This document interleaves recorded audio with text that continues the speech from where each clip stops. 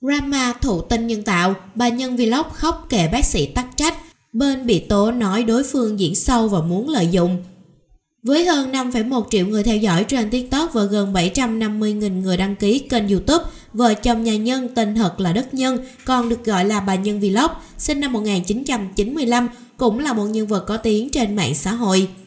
Thời gian gần đây, hai vợ chồng đã từ Nhật Bản về Việt Nam làm thụ tinh nhân tạo. Mọi quá trình đều được cặp đôi cập nhật thường xuyên.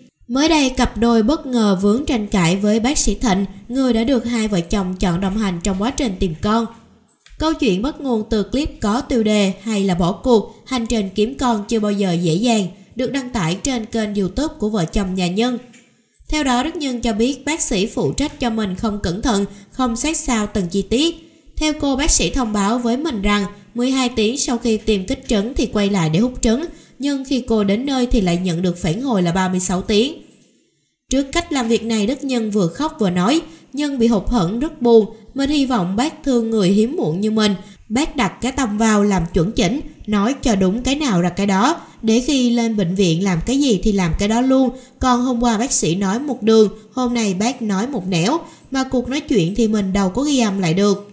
Trong clip này cô quyết định sẽ đi tìm một bệnh viện khác và một bác sĩ khác vì không thể cùng đồng hành với một người đã hai lần làm mình buồn, hơi thất vọng. Lần thứ nhất là mình nghĩ bỏ qua vì bác nổi tiếng mát tay để bác giúp vợ chồng nhân có con. Nhưng đến lần này mình thấy cái tâm đất của bác không dành cho mình hoặc hai người chưa kết nối với nhau. Sau video này, bác sĩ Thịnh cũng có video trả lời trên kênh TikTok của mình vào sáng ngày 12 tháng 3. Bác sĩ cho biết mình rất bận, chưa có thời gian xem hết video của Đức Nhân, nhưng vì mọi người thắc mắc quá nhiều nên đã chia sẻ. Theo đó, bác cho biết bất kỳ ai sau khi tìm kích trứng đều cần 36 tiếng mới hút được vì nếu lấy trước thì không có trứng hoặc trứng non thì không thụ tinh được. Tự động sáng ngày hôm sau kêu vô làm hồ sơ rồi đùng đùng đi lấy trứng. Ủa, đâu phải lấy trứng một lần, lần trước cũng lấy rồi. Bác sĩ nói về việc Đức Nhân lời lấy trứng sau 12 tiếng. Bác sĩ cho biết thêm, mình đang nghĩ lần trước lấy được 4 năm trứng là ngon lành rồi, lấy thêm một lần nữa là tạo phôi được. Tự nhiên lần này bạn đùng đùng bảo lần trước chỉ cần 12 tiếng, giờ cũng thế. Một năm mình làm thụ tinh ống nghiệm mấy ngàn người, người nào cũng 36 tiếng.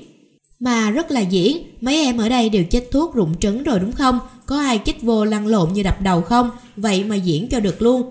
Khi siêu âm ai cũng biết là trứng ít, được ba bốn cái rồi nhưng hút xong ra khóc, lăn lộn là trứng ít. Đó là chuyện mình biết trước chứ có gì mới lạ đâu mà làm như vậy. Ngoài ra bác sĩ còn chia sẻ thêm rằng trường hợp của vợ chồng Đức Nhân rất khó nhưng vẫn cố gắng. Tuy nhiên cô lại không tập trung hay có lý do đi quay cả chu kỳ chỉ đi kích trứng một lần. Thậm chí khi được gọi đi chích thuốc rụng trứng và kiểm tra trứng có phát triển tốt hay không thì cô lại xin lên muộn vì mắc đi ăn tiệc. Ý của anh ở đây là mình tập trung mình làm cho có con đi, còn bạn này lấy con ra làm chuyện thương mại, làm này làm kia để thu hút công chúng hay quảng cáo. Từ đầu bạn cũng nói là anh làm đi rồi bạn quảng cáo cho anh, rồi anh làm miễn phí này kia. Nhưng anh nói không, trường hợp này rất khó, em có duyên làm được với anh thì anh sẽ cố gắng làm hết sức. Cái gì miễn phí được anh sẽ miễn phí, đồng hành để em có con. Còn chuyện em quảng cáo được thì tốt, còn không thì thôi, anh cũng không quan trọng. Chuyện quan trọng là em có con, bác sĩ Thịnh cho biết.